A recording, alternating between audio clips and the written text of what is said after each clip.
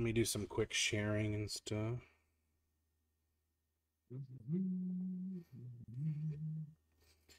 Alrighty then. Welcome to episode four of Tap 3 to Counter. I'm Chris. I'm Josh. I love how we do that at the beginning every time, and it's always so fucking awkward.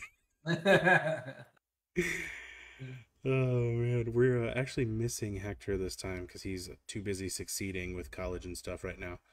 So, um, we will sadly be without him, but the show must go on.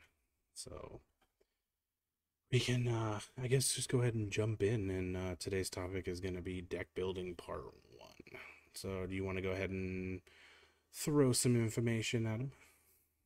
So, uh, deck building part one, we normally start with an outline. Uh, very basic. We're looking for, um, you know, uh, uh, depending, obviously, uh, depending on the deck, the style of play, what's going to happen inside the deck, you're going to adjust these numbers on what you want to focus on.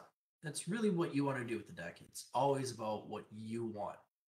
Um, but we like to have a general outline, a general idea of the basic numbers that we're going to look at. And we're looking at uh, destruction for removal, um, draw. Favorite. yeah. Your favorite. Draw. My favorite. and uh, ramp, which I, another one of your favorites, Yeah, actually. I do. I do like bringing stuff early. I like to come early. oh no! I mean, no, I don't do that. What? Turn turn two. Turn stroke two, we're turn busted. two. Sorry, turn two. Turn two, and I have a Sol Ring. If you know what I mean. uh, oh, turn one. Wow, this got yeah, this got away from us. Um. So, uh, uh, having those basics in there, um, obviously you're gonna have your land, and then we move on to unique. So, removal, uh, draw, and ramp. We aim for roughly about 14 each. The Um, keyword aim. aim. Yeah. Um, that leaves that leaves very little room for the rest of it because uh, we're talking about what? Uh, I can't do simple math. Forty-two Uh, plus 30. 42. Yeah. 42 out of 100. That's almost half the deck, Not Now- including land. not including land. So, um, land, we're aiming for about 34.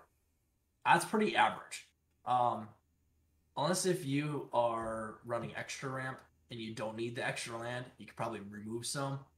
Um, you don't really want to drop too much from 34 because Yeah, I don't- you're pulling away. Yeah. the pain. You've seen me go seven games without drawing a single friggin' mana. The uh It- yeah, you, you start splitting up your deck into um you can almost look at it like thirds. Um because 34 uh is ju- is What? just over. Forty- Yeah. yeah, it's just over a third. Um but with that, you're at 76 out of 100. So that leaves you 24 for unique. And that's basically your deck. What am I doing with this deck? That's that's the not engines. Like, and we can preface all of this with the fact that 14 is not a hard rule. Like you can you can sure. I just don't go under 10. Like of, of any of those categories, if I go under 10, I'm hurting my own soul.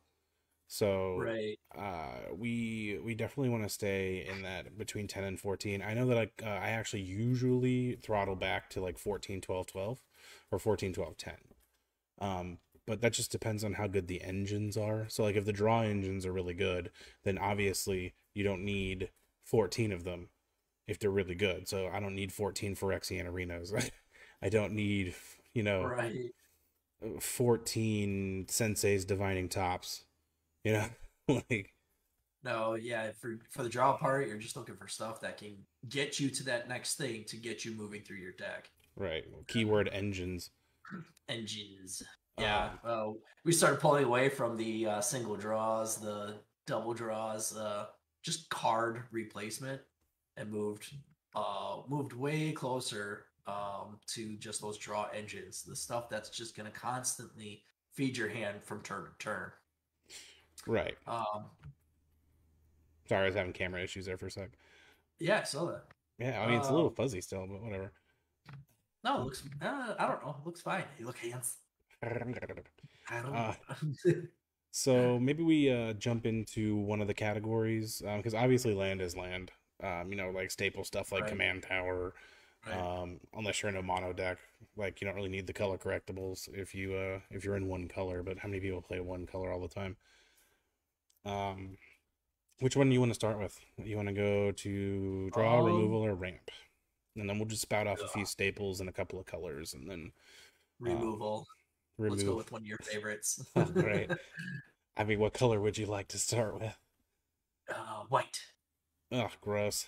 Uh, we're gonna pass to Ah. exile that response. Uh, generous gift. we're gonna swords to plowshare. and that's about it. I mean, honestly, if I'm running five colors, those are the only white removals I'm getting other than farewell. yeah, so you farewell is a nasty board wipe. You're right. So So, we I also left out board wipes, at least three of them, because if you don't, you're gonna suffer. Or at least in our that does, that gonna does go in your removal. That does go in the removal. Yeah, part, yeah, yeah, that's part of it. It's just a Yeah, subcategory you that you want at least three of them. Yep. So, um, in white, one of those board wipes would be farewell, which gives you the option to exile one or more of creatures. Uh, I believe creatures, enchantments, artifacts, and graveyards, which is everything. Yes. Clean out everything. yeah, which Oh, is- basically get rid of everything that's ever been played, is in play, and everybody starts over with their current life total And land, and what's left, and what's left in their library and land. dude. Yeah, we try to say Hey, hey, we stay away from land destruction. Yeah, we do No, not. we do that We do not. M MD or MGD or whatever mass MLD mass land destruction. mass land destruction. Yeah, the um Weapons of mass land destruction. dude think about it though any any combat deck that has done its thing and is huge and they're just on that waiting for that last turn to just kill you farewell they they lose not Yeah. farewell sucks just let it run well you better hope you don't because you're gonna lose everything Oh man. Yeah, that that'll clean up all your enchantments. Uh and I'm an enchantment heavy type of person. I love those enchantments. uh, yeah you do. turn seven he's got 15 of them ridiculous. One right after another. drew all- seven cards a turn because of an enchantment one per. Stupid. No it's actually very good. Your draw your draw enchantments are on point.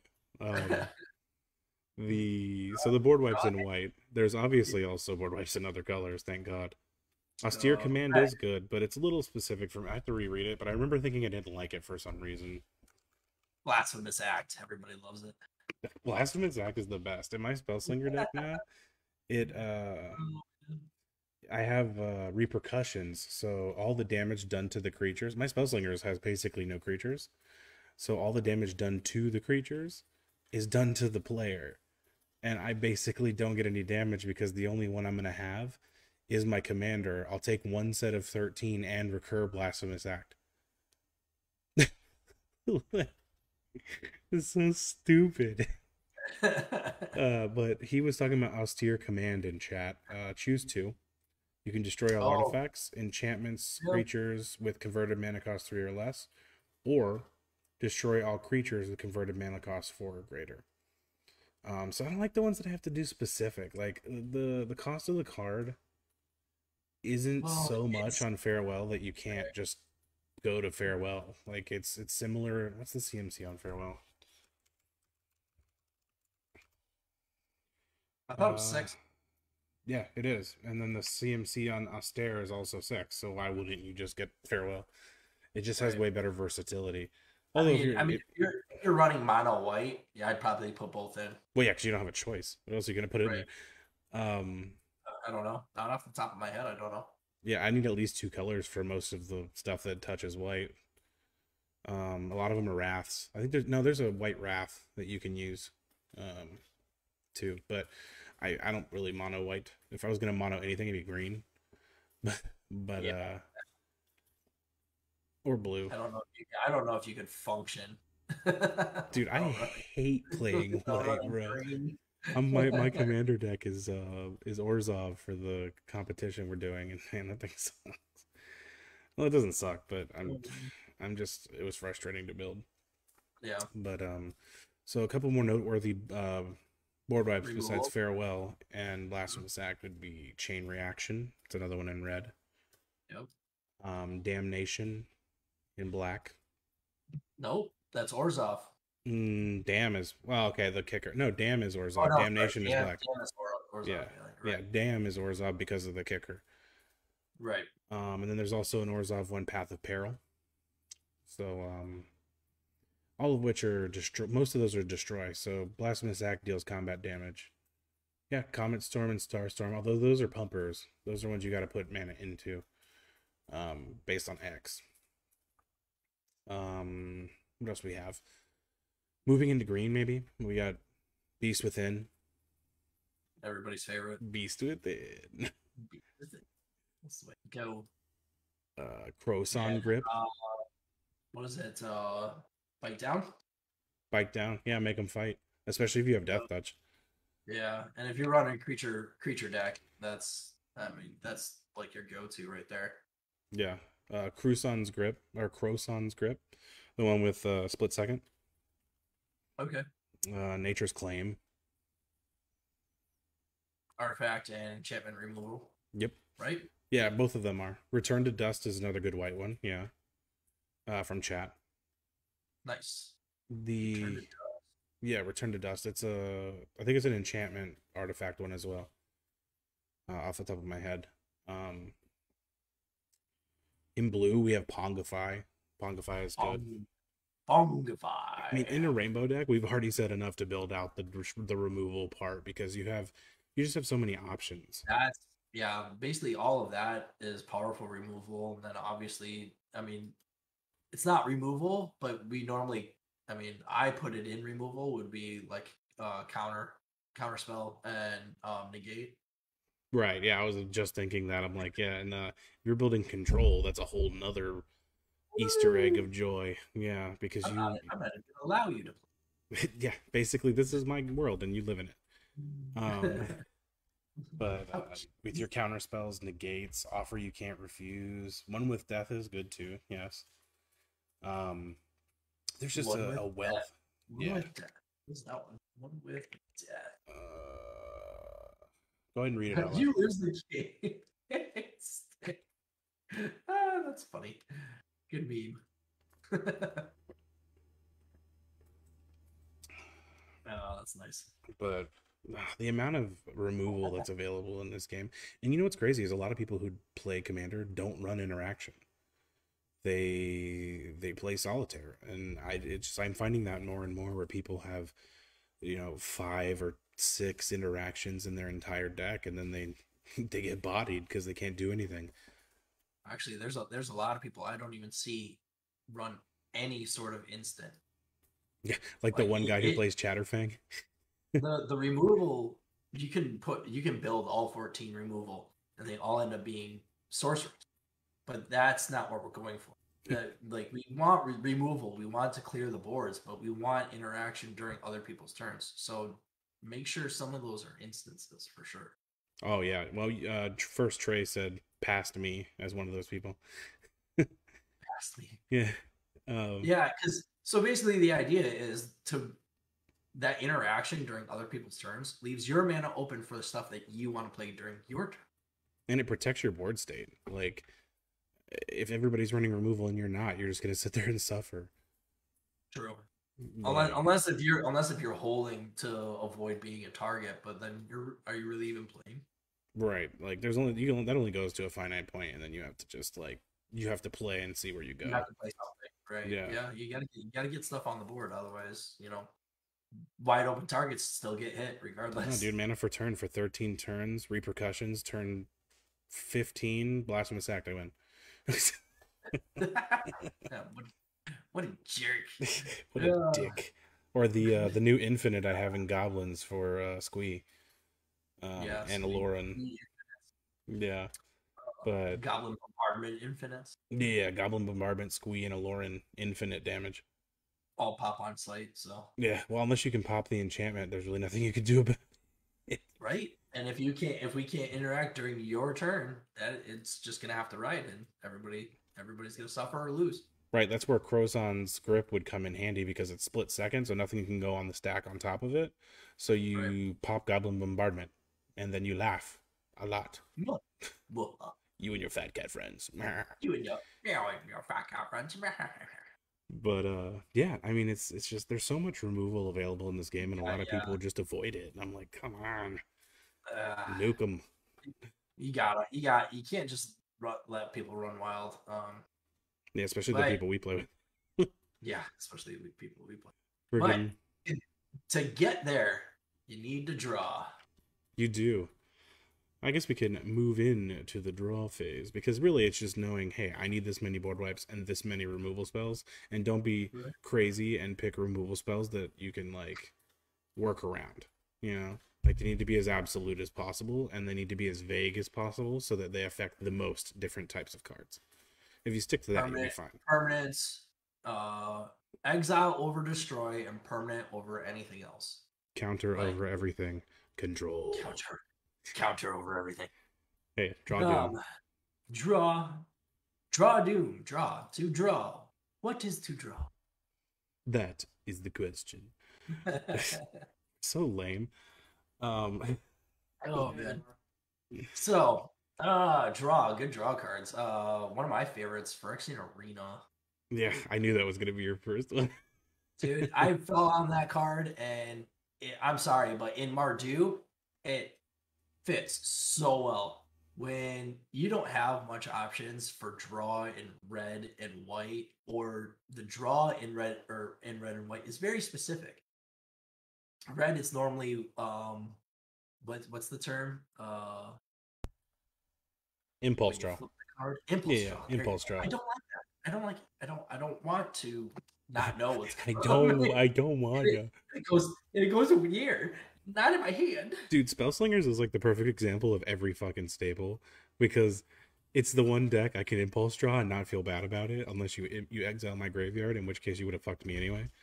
Yeah, I mean, I mean, if, uh, that's. I mean, that's the spell slinger deck you run is is the ability to play out of graveyard. Recursion. Recursion. Actually, You there's a spell. I do. There's a spell in my deck that allows me to kick it and play all the spells in my graveyard at once for free. it's, it's fucking broken. It kind of sucks for the ones you have to pump because you don't get to pump them, but whatever. Yeah, yeah. I mean, it's a still. It's still a spell. It so doesn't exile anything though, so it puts it back in the graveyard to where I can recur them individually. Threw it out there. yeah. Uh, I guess my draw would be like Garruk's. Those are tr- like uh those are triggered. So like I play something for a greater power. Not only does it get trampled, but I draw a card. You know, right. That's that's a that's definitely a twofer. although it does not fit in token like smaller token decks because you're not going to net any draw, which is going to make you hate your life. No, so uh, Fecundity. uh small uh token or small creature token decks would uh I would do um welcoming vampire. Yeah, yeah, Like we covered that we covered that one in our our uh last video. yeah. Was Drawing in white. video? Yeah, drawing in white. Um I I personally love uh Zendikar Resurgent. Mm. No, that is a good one. Honestly, I saw you did it to me like 40 times before I was like, oh yeah, that's a thing. Yeah, He's like, give yeah. me more mana, and I'm gonna draw cards. That was dog shit. Double mana. Gotta love it. I uh, I Uh, like I, I, Go go ahead. Jinx. I love. I. no, I love the. Uh, um, I love the two first. I like the ones that can do Two. more than one thing. But um, yeah, I mean, unless, but normally you have a higher cost for that, so it's gonna cost more mana to get it out, and you could waste an entire turn just getting it out for it to get popped. Yeah, this So is it's- true. I It's kind uh, of hit or miss. I uh like I know that everybody's not as big of a fan of it as I am, but in token decks and sacrifice decks and things like that, Fecundity runs, dude. Like death triggered draw is it's good in some decks. It's just it depends on what deck you're running it in. Obviously, in a in a creature uh, a big swing, big stick deck, you don't want all your shit to die. So it's not gonna be you're gonna be better spent putting a board protection like Teferi's or something in your deck, as opposed to trying to draw off creature death because hopefully they don't die. But um, my uh like the deck I'm working on right now, that sacrifice deck, that would net mad gain. The only thing is, it also lets the other people draw. So you have to be careful of how you utilize that card. So it's definitely a little higher IQ than I would say, like a Garruk's Uprising or a Temur Ascendancy or, you know, Yeah, anything you like could- that. You gotta be careful with giving giving other people draw, um, especially off of something that has uh that especially like that where it's on death and it's any creature and it's Any player. player. So if they have a uh, infinite sacrifice engine out, and you just gave them the ability to now draw through the entire their entire deck as well.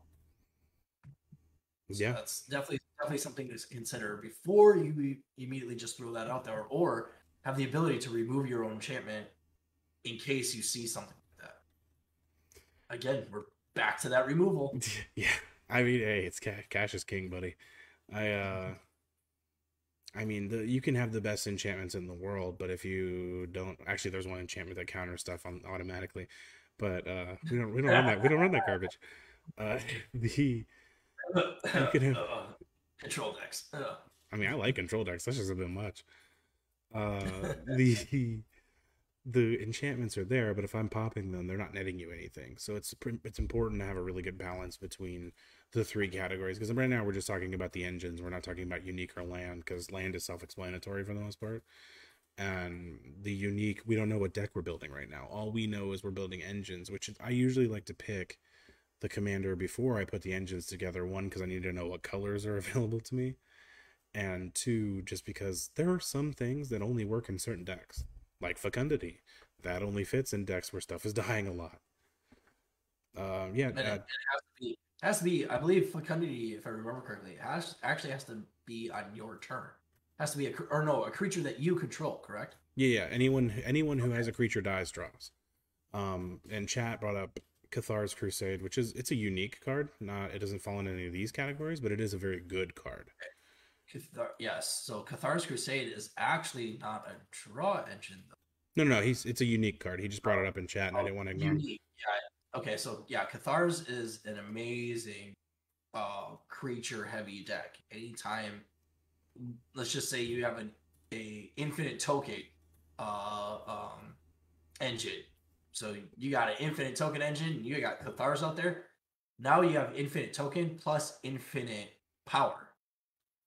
Because every time one of those creatures is coming up, all your creatures getting plus one. So that can get out of hand very, very fast. Cathar's is one of my favorite cards. Honestly, I, I I agree too. I uh I, ha- I don't have a copy of it right now actually because I think I traded it, which sucks because I don't well I don't have my green white Karametra deck anymore. So Right. That's what it was in for exactly what you're talking about, token generation. Um Yeah. But I mean, you've also pulled away from the um the big stick, whack you in the face. yeah, I've got Jodah. My Jodah deck is dope. Like if I want to play big stick, I can. Um and I have Cascade Right, twice. And Jo and Jodah honestly doesn't need Cathar's because He's built in Cathars. He gives everything XX anyway. Cathar's. Yeah. Yeah. The- So you're good.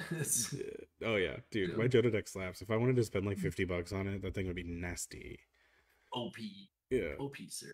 But That's uh, why, man, you get so frustrated and everybody just pops Jodah on site.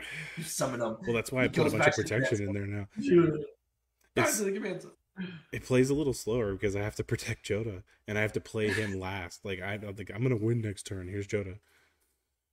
Um, Nope. but back to the draws. Uh, Mystic Yeah. Remora is a fun one, although it has cumulative upkeep, so you better be ready to Uh. pay for that. But they have to pay four for you not to draw, so you're pretty much drawing every time. Um, so even if it only gets one full rotation, there's no way that everybody's not playing at least one spell. Um, that's that's cards. That's a lot of cards, even if you let it drop off after one. So, not and if someone is crazy enough to tap four to stop you from drawing, then you really cucked their turn. Right. So, but Yeah, that's a that's a tough one. Um, that that card gets a lot of hate, but then again, I'm pretty sure yeah. almost every top player uses it. Well, yeah, dude. Chat just said Rhystic Study. Ah, We don't speak of those um, cards here.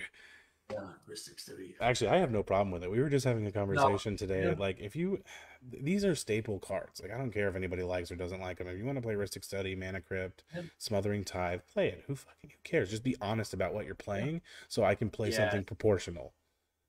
Right. So don't say if you're basically if you're running Mystic Remora and uh, Rhystic Study and um, all those upper level cards that you know like you know 60 you know up to a mana crypt you know what a 180 180 dollar card if you're playing those it's not a mid don't call it a mid It's not a precon either. Not an upgraded not. precon.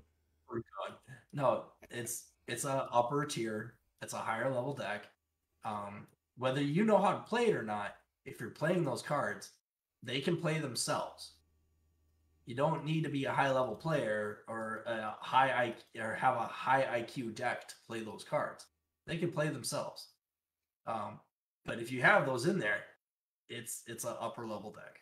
Uh, Right. It, you know, it might not be a nine all the time, but you know, an easy easy seven and above, I would I would say. Well, yeah, because half of the animosity that happens is in games is people not talking about what their deck actually is. Oh, this Right. is just, you know how many times I hear this is a seven and it's definitely not a seven. And then I have to sit there for a game getting bodied. And then when the game is over, I'm like, okay, I'm going to play something stronger. And then they switch to their shitter deck so they don't have to play their good one into my good one. I'm like, are you shitting me right now? you didn't want to catch these hands. Hmm, Hmm. a little little afraid. hmm. But yeah, uh, yeah. The, as far as draw engines, the game is chock full of them. You can throw a rock and hit an enchantment that'll let you draw. And then, like you were talking about before, in red you have impulse draw. So if you're okay with exiling cards and playing from exile, it's super useful. My entire uh, goblin deck and my entire, uh, which is Gruul, and my entire Spellslinger deck both run off of impulse draw. There's almost none in the way of actual draw spells. I'm exiling one card, two card, three card, and I'm playing those cards from exile until my turn or my next turn. And it, it works. You just have to use them at the proper time to know that those cards will get utilized and not go into the not even the bin. They go to exile. So you know, you just have to be careful and be thinking a couple of steps ahead when you're doing it. Right. So in in red, there's a lot of uh, combat draws. So if it deals damage to opponent um, or player, that combat damage triggers a draw.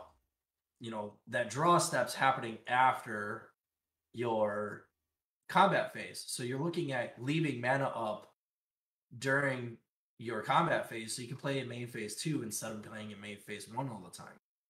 So obviously depending on the deck you're playing but that's just another example that you you know just need to pay attention to what type of draw you're playing Right, and and just be aware. Um, Chat made a good point. Like our third member, Hector, uh, he runs a very good amount of red of red decks, and all of them impulse draw almost perfectly. Uh, the dude is a whiz at impulse drawing because he'll flip four cards and have until next turn, and those four cards will be the end of the game for you. So, so uh, impulse draw is very powerful and very underrated. Um, Yeah. It's just it's like it takes management. You have to pay attention. Right yeah you ha- you either have to basically you have to leave mana open for the possibility but you have to ramp first properly make sure you have the mana for impulse draw Oh, So balance. that's yeah, oh balance. Um, that's another thing that he's really good at is making sure that he has enough mana in any color on the field. I don't understand how he does. It. the only honestly. decks that I've ever seen a modicum crazy. of struggle is Rakdos. And to be fair, those are the hardest ones to bring mana to the field because even white has like if a player has more mana than you, search your library for three three planes or whatever, or like the stupid Yeah. dog that lets you get a go fetch. Like it has stuff, Whereas black and red, dude, like if you're not impulsing into mana that you can then play, Yeah. or you know, Yep. s- cascading into it with Advernus if it's a multicolored deck, or like, God, there's or Averna. There's like, God, it's so painful. The ramp is the hardest part in those colors. There's yeah, it's very little, um, if any at all. But I think uh, probably a good stopping point for this week because we don't want to go too far into um, everything. Um, when we come back in for part two, we'll probably brush back over the ones we've talked about. We'll hopefully have Hector back, and uh, I know that he's got a, a vault of cards in his mind to, you know, 47 ramp, 47 removal, 47 drop. But just remember to stick to those those numbers loosely and to try to be as efficient as possible. Like don't don't waste a card. You know, drawing a, one card after you know playing paying a spell to draw one card just replaces itself. It doesn't actually net you anything. It took me a while to get into the like the the draw was the hardest part for me. Yeah, the draw was the hardest part for me, and the the fact that well I'm drawing a card it doesn't mean anything if you paid a card to draw a card. you know, so just Yep. Yeah, efficiency. So, um, yeah, so we'll cover cover some more next week, and we'll balance. We'll work on that balancing. Um, you know, next time in part two. Yeah, maybe we pull up a Scryfall and throw some some stuff up on the screen. We'll uh pick an easy commander to build on or something, you know. Yep, like an an, like Animar. It's not like we both don't have one. Well, Protection against black and white. Everybody hates I hate that card so much. Protection against half my decks. Half Well, black. I have a lot of black. you and your fat You cat and your friends. fat cat friends. Anyway, I Oh, will see you guys in the next one, I guess. Take care.